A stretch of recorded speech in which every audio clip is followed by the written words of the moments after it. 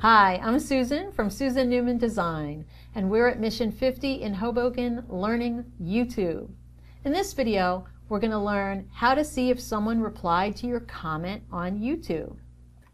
You'll see that we're on my YouTube channel, and if you go to the navigation here, you'll see that you have Home, Videos, and Discussion. You want to just click on Discussion, and you'll see that it'll show you the comments. People wrote some nice comments in here.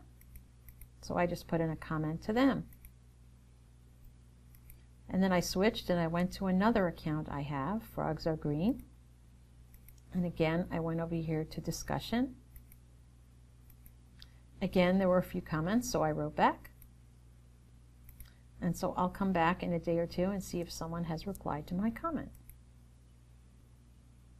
And if we go to a particular video, it can be a video on anybody's channel.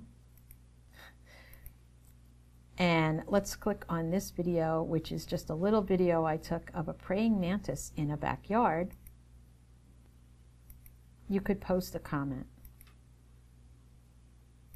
If someone were to post a comment in here, it would show up here and it would show up in that discussion section.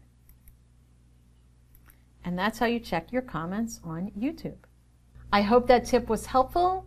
For more information, visit me online at Susan Newman Design. Thank you.